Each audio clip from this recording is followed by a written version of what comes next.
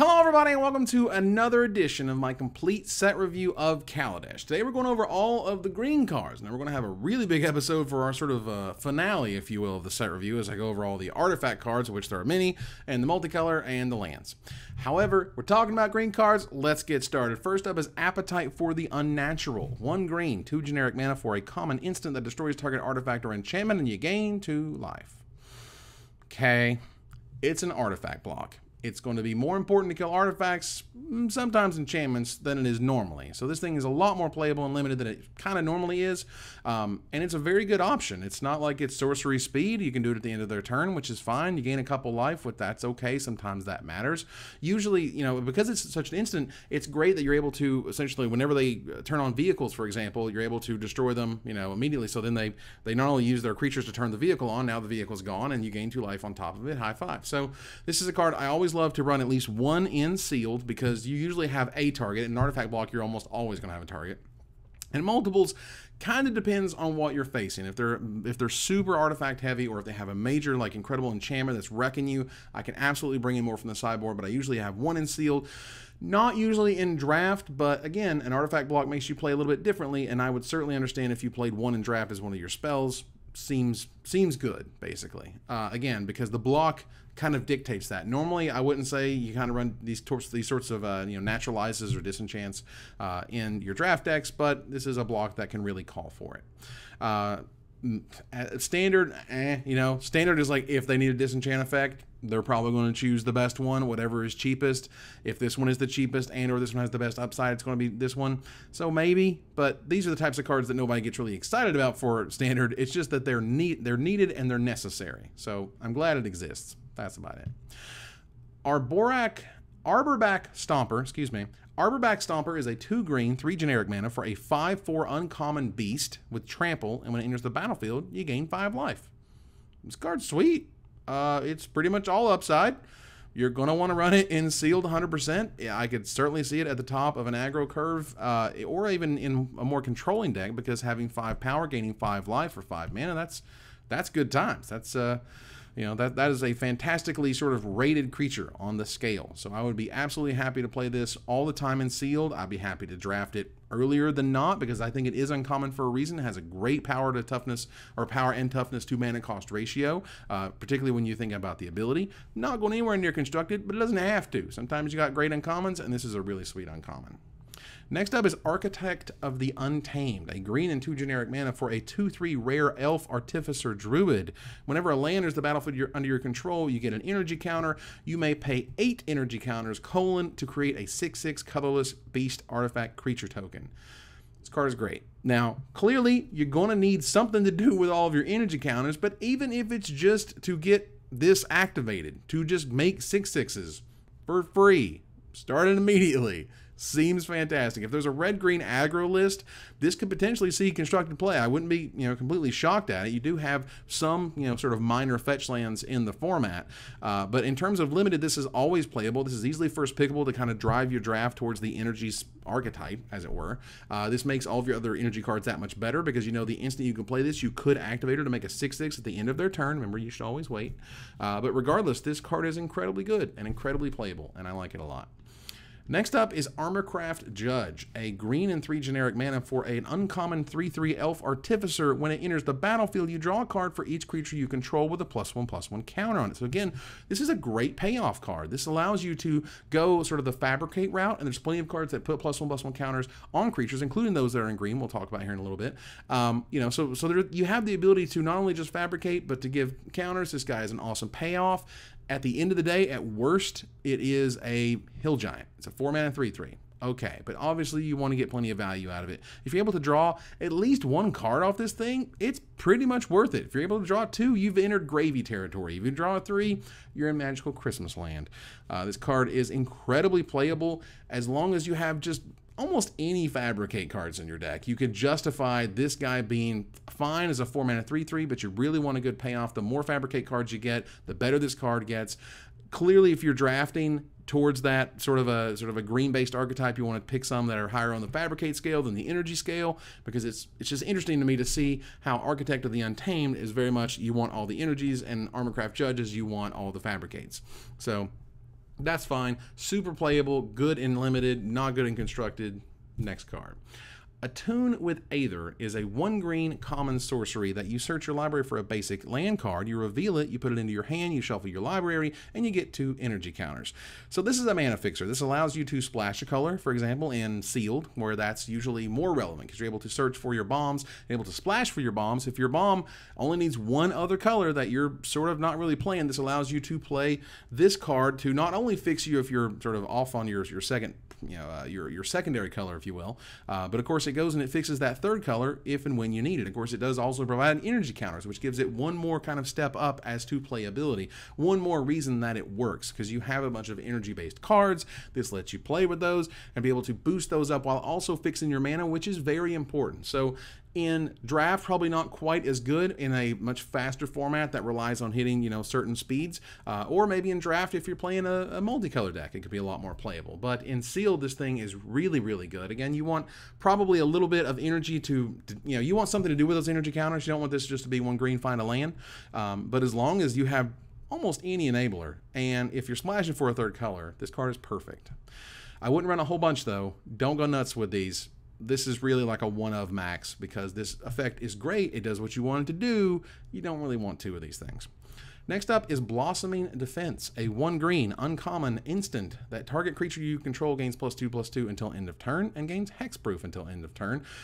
So it's a fantastic combat trick. This card is amazing in limited. It is played every single deck that you can put it in. It's awesome. There's nothing wrong with that. The, the question really is, is like, is this going to hit constructed? Maybe. Certainly in the modern type infect decks, they want to look at this type of effect because given hexproof is obviously very powerful, particularly in that format where things are so cheap and instants and, and the spells are so crazy high on the power level. So uh, so we'll see. It's questionable. I like Blossoming Defense though. I like how it just blooms with awesome. It just blooms. Bristling Hydra is next. A 2 green, 2 generic mana for a rare 4 3 Hydra that when it enters the battlefield, you get 3 energy counters, and you may pay 3 energy counters, just so happens, to put a plus 1 plus 1 counter on Bristling Hydra, and it gains hexproof until end of turn. So here you already start to see Armorcraft Judge kind of paying off. This card to me was built to move. This card was built to answer certain problems. This card was to say, and again, I feel like there's a red green energy archetype, a red green aggro uh, energy, and this is a card that definitely wants to be in that four mana slot. This is what you want to play on turn four. You want to keep up those three energy counters. You want to have three energy counters basically always at the ready, if not more so. Remember, you can do multiple activations. This guy, if you got six energy counters, then he becomes a six five, and that's fantastic. So you know, there's ways of making sure that not only are you protecting your creature, but you're also kind of boosting and pushing it forward. So this is clearly amazing in limited. You want to draft this thing early. You want to play it in every single green deck you got, even if it just uses its own energy and that's it. It's still worth it. This card is incredibly good and incredibly playable. Commencement of Festivities is next, a green and a generic mana for a common instant. Prevent all combat damage that would be dealt to players this turn. So note, it does affect your opponent. Sometimes that matters. Um, but most of the time, this is just going to be a fog. This is going to be a prevent all combat damage this turn, thanks GG. Uh, this is a great card to sideboard in when you're in an aggro versus aggro matchup, or a matchup where they are just incredibly fast or using a, or using a lot of pumps early. So if your opponent basically runs you over in game one of sealed, I'm sideboarding this thing in because this is the type of card that kind of gets you that one extra turn, that one reprieve where you're able to come back the next turn or able to draw your removal spell or draw the mana to play your removal spell. That's where this card shines. And the same thing happens in draft you know, usually if you're going the red green aggro route and you're playing against an aggro deck, what you can do as the aggro versus aggro matchup is you're able to play one of these. You're able to get that type of advantage when they swing in, when they swing all in or whatever. You're like, okay, fog, and then alpha strike them to death. That's how it works. So that's how you want it to work. Uh, this is also interesting because you can't have too many of these effects in standard. If you get too many of these types of prevent damage effects, and you have too many of the type of Howling Mine, draw extra card type of effects, you actually can sort of break a format with a really awkward fog deck. And we've gotten close a few times, um, but I don't think we've ever really, really gotten there. If you want to go look up a really interesting card, go check out Moment's Peace. Moment's Peace was one of the biggest aggro killers of all time because it had flashback. You'll check it out. It's it's very, very powerful, and they do not print cards like that anymore because they like aggressive decks to actually win games of Magic. So, Cowl Prowler is next. It is a 2 green, 4 generic mana, 6 6 common worm. 6 mana, 6 6. Good old fashioned. Fine man.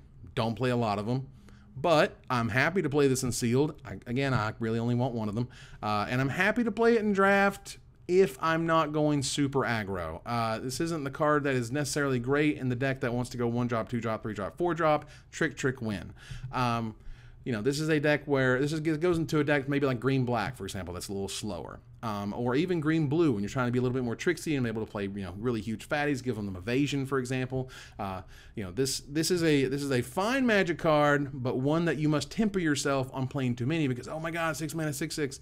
It still gets chump blocked by an 0-1. It still gets chump blocked by a 1-1 servo. Like you got to be aware that there are ways to stop this card, which means there's reasons to not go all in on multiple copies. It's bad constructed. I don't know if I had to tell you that, but just to let you know it's really bad constructed.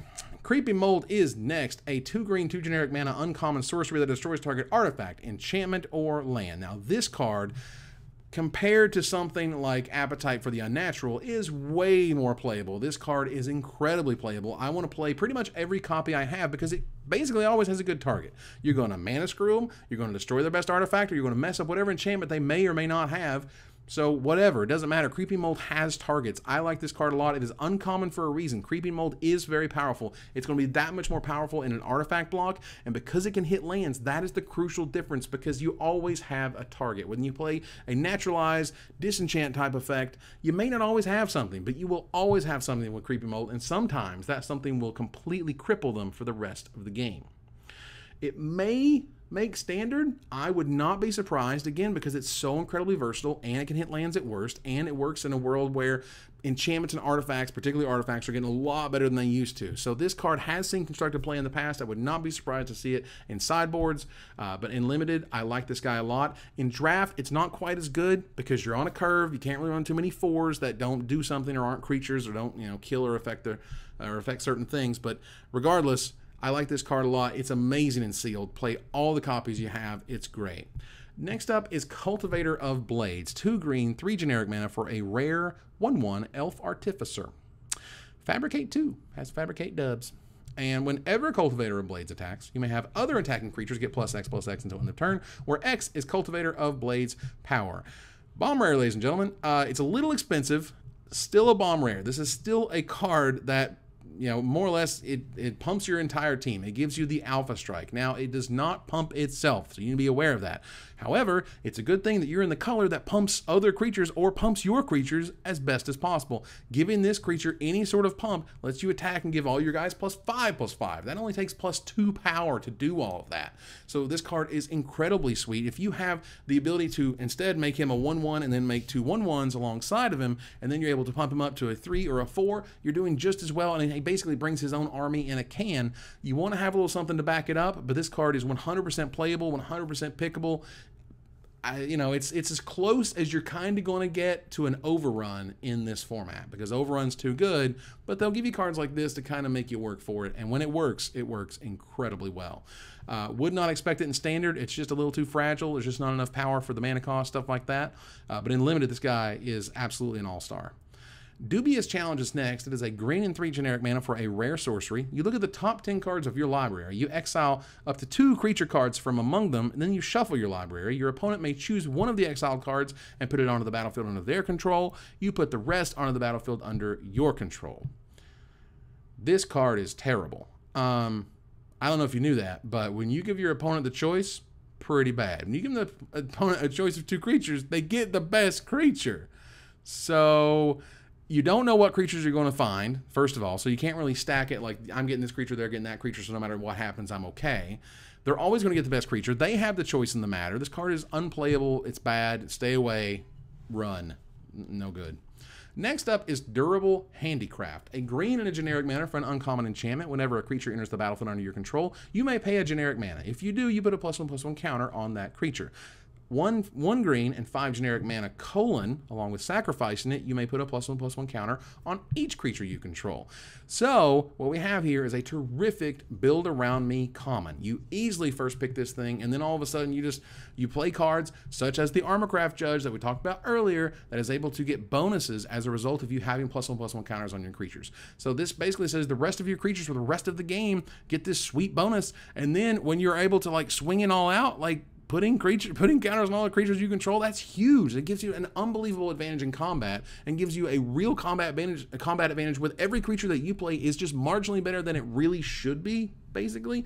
You're paying an extra mana but it's getting that bonus and a lot of things have bonuses based on plus one plus one counters and so uh, and so this card is fan freaking tastic. I love to play this thing. I don't know about multiples per se but i mean think about it. If every creature cost two colorless more but came in with two plus one plus one counters i'm all right with that I'd be okay with that. I'm feeling good about it. This card is really good. It's one of the great build around me uncommons, and I like it a lot. Elegant Edgecrafters is next. A 2 green 4 generic mana for an uncommon 3 4 elf artificer. It cannot be blocked by creatures with power 2 or less, and it has fabricate of 2. So, essentially, a six mana five six or a six mana three four with two one ones. It still can't be blocked by powers with power two or less, and that is important and often matters because then their servo tokens can't block this guy. So yeah, you put six mana into this three four, but they just can't block it with their smaller dudes or the guys they played on the first couple turns. Uh, it is a six drop, however, it is a powerful one. I think that being able to have the option of a five six or a three four and two one ones is very good and limited, better in sealed than it is in draft. In draft, I think it's a little slow it's good, but it's a six drop. So you got to really weigh that against like what is the power level of the cards that you're playing on turn six you know, I don't think you would necessarily not play this if you, you know, if you had the choice of this and maybe uh, the six mana six six, for example. Um, I would rather play this because it gives me more options. It gives me more ability to create an army in and of itself or create a much larger creature to deal with uh, than I would play the six mana six six. And that's why I think this is uncommon, and that's the that's the reason why this card gives you interesting choices in ways that the six mana six six is just like kind of a dumb dork basically. Not to mention the added ability to not be blocked by creatures with power two or less.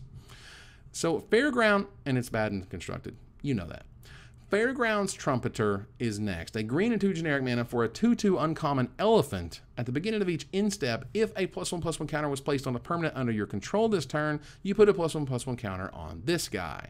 So clearly, Durable Handicraft and Fairgrounds Trumpeter. I'm not saying it, but you know what I'm talking about. You have your A's, you have your B's, and what a wonderful alphabet it is when they sit alongside of each other. So clearly, this guy has the potential to kind of go nuts. There's definitely an underlying theme in green of plus one plus one counters, manipulating them, getting bonuses from them. That's awesome. So, you know, play this guy accordingly. I think this guy is super sweet. There's definitely there's reasons, reason he's uncommon. I'll play basically every copy I can get as long as I have a little something to do with plus one plus one counters. Uh, a plus one plus one counter can come from Fabricate. Remember that. So this card seems incredibly playable. It's one of those things that. It's one of the creatures that your opponent is going to want to kill while a Fabricate trigger is on the stack, for example, or its abilities on the stack. Uh, because this feels like a guy that can get pretty out of hand based on what we've seen just so far from Green. This guy is incredibly powerful powerful. Uh, so I like him in draft because you can draft around him. I like him in seal because it doesn't take a lot to be great. Uh, and otherwise, he's a fine man at a three mana 2 2. Uh, don't foresee him in constructed by any means, but you know, good limited cards are good limited cards. Ghirapur Guide is a two is a one green, two generic mana, three two uncommon elf scout. For a green and two generic mana, target creature you control can't be blocked by creatures you can. I'm sorry. A green and two generic mana, target creature you control can't be blocked by creatures with power two or less this turn. So this gives you some ability to protect himself, which is interesting. Ability to sink a bunch of mana so that you're able to more or less cut off a lot of blockers from your opponents. Uh, it sort of says that your opponents can't block with servos. That's more or less kind of what it says. They can't block with Thopters, they can't block with servos. Okay. Um, otherwise, a 3 mana 3 2 is absolutely on the curve. Uh, again, uncommon for a reason because this guy in multiples I think is very powerful, um, and the ability to give the the ability to give not only himself that power but anybody else that power uh, can be used to your advantage. And otherwise, three power for three mana is good. Great and limited, bad constructed, but that's okay. Ghirapur Guide is very playable. Highspire Artisan is a green and two generic mana for an 0-3 common elf artificer with reach and fabricate of one. So it's a basically weird spidery kind of guy. Uh, a three mana one four reach for all intents and purposes. Uh, and so as a result, it's a little underpowered. Um, don't really like this guy. If you're searching and reaching for the plus one plus one counter theme, if you're just dying for for guys to put in the deck, you know, just like there's a reason that guy was uncommon, the reason this is common, and sometimes they're bad. I think this guy is a little on the low power level. I wouldn't play him unless I absolutely had to. If you just have that spot in the curve that's missing, if you just don't have any other three drops, like here's a guy that you can think about. It's not the worst thing in the world, but it's pretty bad. Next up is Hunt the Weak, card that has been printed many times. Have green and three generic mana for a common sorcery. You put a plus one plus one counter on target creature you control. Then that creature fights target creature you don't control. They deal damage equal to their power to each other. So this card is green removal. It is very good. You play all of them. Yes, it's a little expensive, but it's almost always worth it. And it deals with creatures in the way that it deals with other you know other creatures in the way that green is best at, which is fighting, which is great. I love the fact that we have fighting. I lived in a world without fighting. Let me tell you, fighting is awesome. Fighting is great great. It is sweet. This card is fantastic, mainly just because it kills a thing. So not don't think of it much as a fighting card as it does. I'm going to kill a thing. I'm going to make my dude huge. It has a plus one plus one counter theme built right in, which is awesome, and it can fight a guy to kill that thing dead. This card is super good in sealed, not quite as good in draft. Again, just because you're you're very concerned about mana cost and using your mana the right ways. But a removal spell is a removal spell is a removal spell, and you pretty much should be playing all of those. Next up is Kujar Seed Sculptor, a green and a generic mana for a 1-2 common elf druid. When it enters the battlefield, you put a plus 1 plus 1 counter on target creature you control, including itself. So it could be a 2 mana 2-3, basically. It doesn't say another target creature. It could be itself. So uh, as a 2 mana 2-3, that's pretty awesome on the curve. I mean, at this point, and we'll get to it, we have a 3 mana, th we have a 2 mana 3-2 and a 2 mana 2-3. And this guy has the ability to put a plus one plus one counter on something else, again, furthering the theme, or he put it in on himself, again, furthering the theme. Even if it's just on himself, it's still good. So this card is a lot cooler and more interesting, I think, than the Highspire Artisan was, um, and is a lot more playable, honestly. This is a two drop that I like a lot because even in the late game, when you play it on turn nine, at least you're able to pump like one of your big flyers or one of your big monster, you know, one of your big trampling monsters. Uh, this card has a lot of flexibility. I like this card a lot. Kujar Seed Sculptor. Larger Than Life is next, a green and a generic mana for a common sorcery. Target creature gets plus 4 plus 4 and gains trample until end of turn. My god, this thing is huge. So, as a result, it is incredibly powerful. I like to play every copy I have of this card. This card is super good. Yeah, it's sorcery speed, but your guy is turning enormous and must be dealt with more than likely, or it will draw out that removal spell that they were going to use on you anyway. So, larger than life is definitely larger than life, and I want to play every copy I can get my hands on in limited.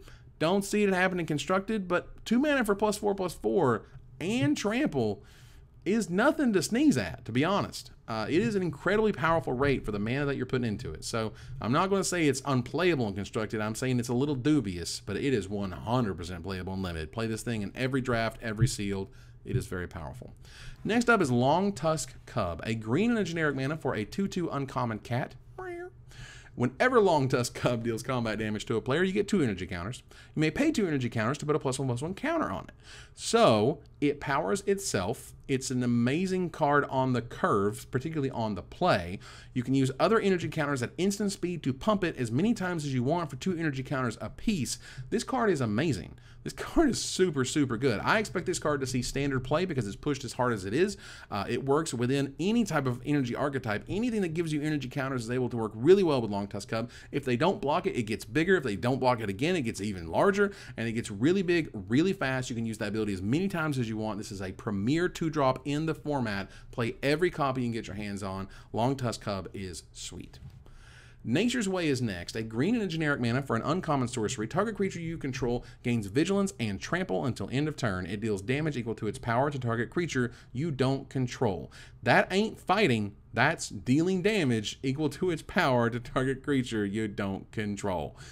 This is amazing. This is as close to a Green Doom Blade as you're going to see, and it is unbelievably powerful. It is certainly uncommon for a reason not unbelievably powerful. Let's not go nuts. It's super good. It's a piece of removal. You're going to kill a thing with it. So if you're in green, pick this thing early. Play it always. It's fantastically awesome. That's great. Now, constructed, mm, these types of effects don't really ever reach constructed, but in limited, this guy is an all-star for sure. Nissa Vital Force is next. A 2 green, 3 generic mana, 5 loyalty planeswalker that is, of course, mythic.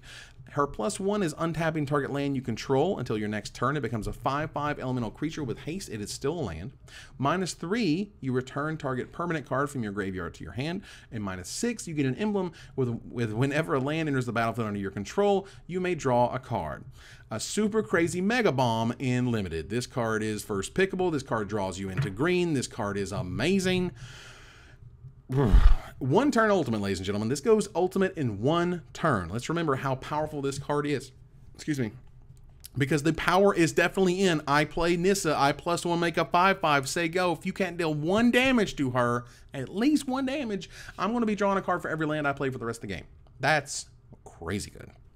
And of course, when you're feeling good about it, I can definitely see the people who make another 5-5, you know, another land 5-5 until end of turn uh, after the first one goes away to make sure you get her to seven counters so you can get the ultimate and then not have to, you know, kill Nissa. But you're just being greedy if you're doing that for real. Like this is going to see standard play. I think this card is incredibly powerful. It is unbelievably sweet and, and limited. Like it's a planeswalker. If you haven't played with a planeswalker in limited, oh, it's just, it's just you will you will love this card because it does all the right things. It has all the right power level. At worst, it regrows a permanent that you got killed earlier that you had to give up or that they answered in some way. So it's good. Pretty much no no no matter how you slice it, Nissa is an incredibly sweet magic card. I love Nissa Vital Force. Ornamental Courage is next. Use one green for a common instant that untaps target creature, and it gets plus one, plus three until end of turn. Card's kind of bad. I know it sounds like you're going to have this big sort of trick that comes out that's going to surprise your your opponent and they're going to get totally destroyed and blah blah blah. Only pumping one power isn't that incredible. Pumping three toughness is fine. Untapping a creature is not that good. It doesn't even give it something like reach, which would be at least be interesting and give it more opportunities to shine. I don't like this card. I would not play this card. It's just not good enough. Next up is Oviya Pashiri. I hope I didn't mess that up. Sage Lifecrafter, a one green mana rare 1 2 legendary human artificer. For a green and a 2 generic mana, you may tap to colon put a 1 1 colorless servo artifact creature token into play. One green and four generic mana tap, colon, create a XX colorless construct artifact creature token where X is the number of creatures you control. So it's a little weird how it's worded because the five mana tap, make an XX token equal the number of creatures you control. It makes it equal to the number of creatures that you control when you play the ability, not necessarily when it resolves. I think it's really, I think it's an awkward phrase it's an awkward ability. I wish it hadn't been named that or hadn't been phrased that way because I think it's very confusing or has the potential to be very confusing, particularly to new players who are like, well, is X this or is X that? But it's in play, but is it not in play? Wait, it's on the stack. Well, what you know, what happens if something happens to creatures that are on the stack? Um, so I think it provides a lot more questions maybe than the benefits that it has. But let's move past the weird wording and the weird effect card is a limited bomb, like absolutely huge bomb. Uh, it's clearly playable on turn one, and you want to start pumping out guys on turn three, and then turn six, you're able to start making really scary dudes. Uh, this is a card that absolutely must be answered. Absolutely is playable in every single deck that can play it. I would, I would definitely not want to splash for this so much because it is one to eat your mana, uh, eat your green mana in particular. Um, but you know what? I wouldn't, I wouldn't call you crazy if this was one of your green splashes because you really, if you're only green spell is this, and all you're using her for is to make servos and then make huge monsters, you're still making servos and huge monsters every turn with your one green mana. So this is a very powerful card. It is an army in a can. It must be answered. It is always playable. It is super sweet. First pick bomb. Love it and sealed, which it, where it's even better for God's sake. Uh, don't know if it can reach constructed because you know power level constructed has to be pretty pretty high. But uh, but yeah, this one this one definitely has a shot, and in limited it is incredible. Peema Outrider is next. Two green, two generic mana for a 3-3 common elf artificer with trample, and it has fabricate of one. So it is a 4-4 for 4 with trample at common. That's amazing. Now, if you if you use the fabricate and you make it a 4-4, that's great. If you use fabricate and you make it a uh, and you make it a 3 3 and a 1 1, that's okay too. So, this to me is literally what I want to be doing at turn 4 almost every single time. This card is really powerful. Uh, it does everything you want it to do, whether it makes a 4 4 or it makes two, two creatures, you know, which sometimes matters.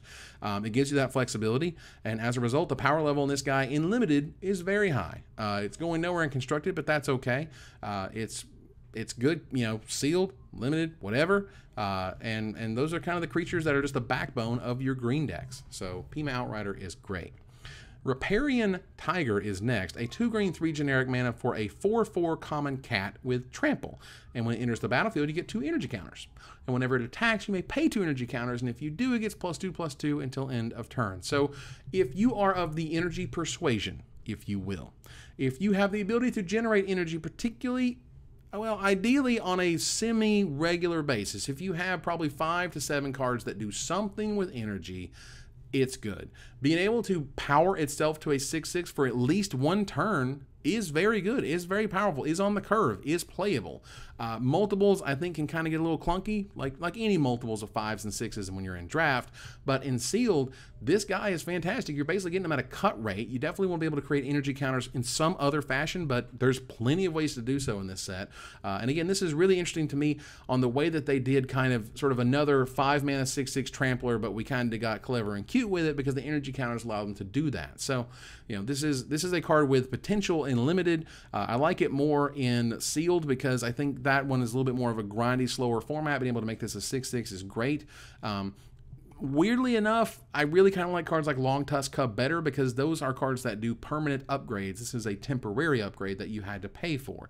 So it's good when it's good. It's not that great when it's not that great. So you got to take it with a you got to you got to really measure this one. It's not amazing in multiples in my opinion uh, because it's just going to be chewing through all your energy counters. Uh, but as a one of as a as a threat, I definitely like it. I think this card is sweet. Riparian Tiger.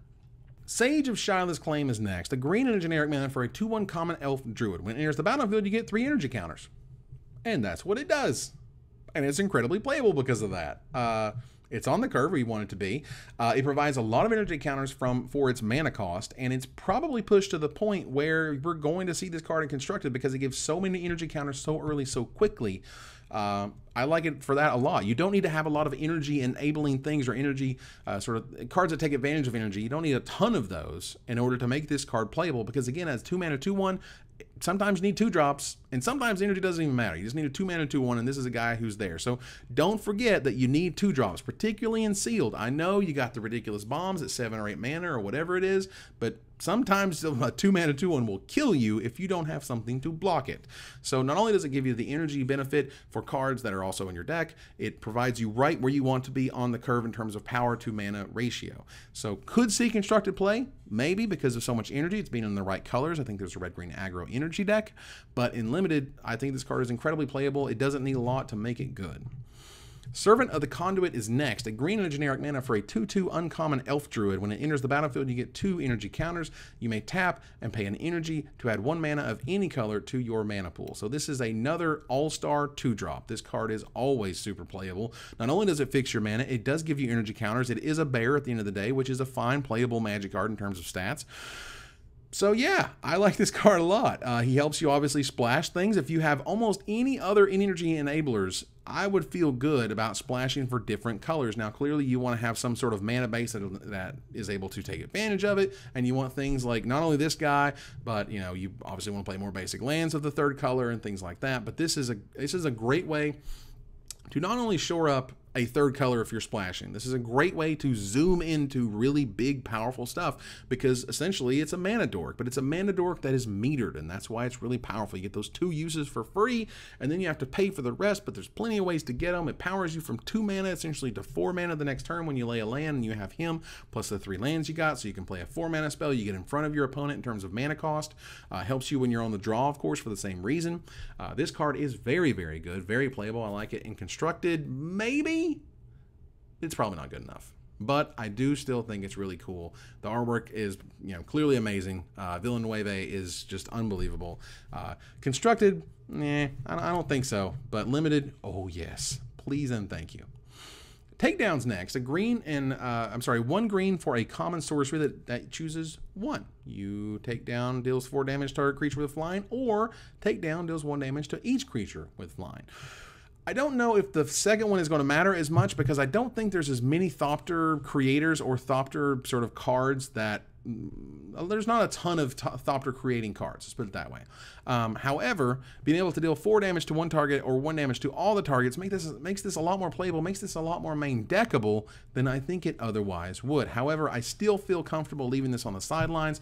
I would rather see them with all the Thopters or see them with that powerful flyer that I need to answer to bring this in versus having it sit in my hand and get destroyed by some ground pounder. Like and they have a six mana six six and like you rip takedown, you can be like, oh, oh, like mistakes were made. You know what I'm saying? and nobody wants that. Uh, so it's I think it's a really good sideboard card. Again, as I made I mentioned in my pauper video, I think this has pauper potential, which I think would be really cool. Um, but regardless, you know, good sideboard cards are good sideboard cards, and Takedown is exactly that. Next up is Thriving Rhino, a 1 green, 2 generic mana for a 2-3 common Rhino. It enters the battlefield and gives you 2 energy counters. And whenever it attacks, you may pay 2 energy counters, and if you do, you put a plus 1, plus 1 counter on it. So this card is yet another in the awesome energy all-star field when it comes to green cards. So being able to play Longtusk Cub and next turn attack with Longtusk Cub, get 2 energy counters, be able to play Thriving Rhino, then you have 4 energy counters, and so at that point you have not only the ability to pump long the Longtusk Cub twice if you'd like, you have the ability to not only pump Longtusk Cub, but also pump Thriving Rhino. When you attack and you hit with Longtusk Cub, then it gives you two more energy counters, which can make this guy, instead of a 3-4, he's a 4-5. Like, they scale all in the right way. They work together in the ways that you want them to. Um, this card is super good and limited. It's better usually in the in draft decks because you're able to curve into it. Not as not as great in sealed, um, but regardless, it kind of powers itself. And because it powers itself, and it is ultimately a three mana three four, that is a very powerful Magic card. So that in that regard, I like playing a lot in my green decks. I'd be happy to play this in sealed. Happy to play this in draft. Uh, I think Thriving Rhino is excellent. Speaking of excellent, excellently excellent, amazingly excellent is Verdurous Gearhulk. Mm. It's a 2 green, 3 generic mana, 4 4 mythic artifact construct. It has trample, because why not? And when it enters the battlefield, you distribute 4 plus 1 plus 1 counters among any number of target creatures you control. Woo boy, this thing is a mega ultra bomb in limited. A super crazy first pick me, high five your buddy ultra bomb. This card wins games all by itself, whether it becomes an 8 8 trampler, which it could be for 5 mana, or it pumps your team, which is most likely what's going to happen. We already have cards that rely on plus 1 plus 1 counters, giving bonuses, but this is the cherry on top of the sundae. This is the card that you want to be curving out to. This is what you'll be doing on turn 5, pumping 4 guys or pumping 3 guys and giving itself some counters. Like, this card is very, very good. I would not be surprised to see it in constructed. I think they've continued to push five mana eight eights. They've just continued. Like, look at Spectral Force. Spectral Force was really the first one. That was it. They were like, oh my God, is it too good? We're not sure. Spectral Force saw play, but it wasn't overpowering. And they, and they kind of sort of kept on. Uh, Wolfir Silverheart, for example. Uh, that one went completely nowhere because Thragtusk existed. So they keep trying to make this five mana green 8 8 thing happen. And they finally, I think, gave it a power, gave it an ability that really really gets it there. This card is just woo. This card is super crazy good. You're going to want it every single time. Constructed, limited, doesn't matter. This card is good coming and going. Wow, this Gearhulk is easily one of the best ones. Wild Wanderer is next, a green and a three generic mana. A green and three generic mana for a 3-2 common elf druid. When it enters the battlefield, you may search your library for a basic land card, put it on the battlefield tapped, and then shuffle your library. This card's great. It's fantastic. I don't see it in constructed because it's a little too slow and the stats aren't quite as good, as good. But limited, this card is amazing. Sealed, this card is even better because it's going and finding you your third color if you're splashing. It accelerates you into six mana because next turn you're going to lay a land, so on and so forth. Like this card is brilliant. I want to run multiples of this card. This is what I want on my four drop in sealed, no question, because the more mana you have, the more ability you have to play your big spells, which in a in a slower format is where you want to be. Uh, even in draft, I think it's good. Probably not quite as good, but in sealed, man, this thing is amazing. Uh, don't really see it in constructed, but that's okay. In limited, this card is fantastic. Next up is Wildest Dreams, and I want to appreciate right now that Wizard is naming cards after Taylor Swift songs. Yeah. Taylor Swift naming magic cards, ladies and gentlemen. It's 2016. Wildest Dreams is up next, a green XX rare sorcery that returns X cards from your graveyard to your hand, and you exile Wildest Dreams. And I would like to just take a moment to appreciate that Taylor Swift songs are now magic cards. Yeah, that's awesome. Um, I'm, I'm looking forward to the Shake It Off sorcery. You know what I mean? It's gonna be it's gonna be sweet. Anyway, there was a card in Magic. There was a card in uh, in Legends called Recall. Now, it had the exact same text this one does, but you had to discard X cards from your hand as a result or as an additional cost they got rid of that because it was terrible. The card was bad and they reprinted it a few times. It kept being bad.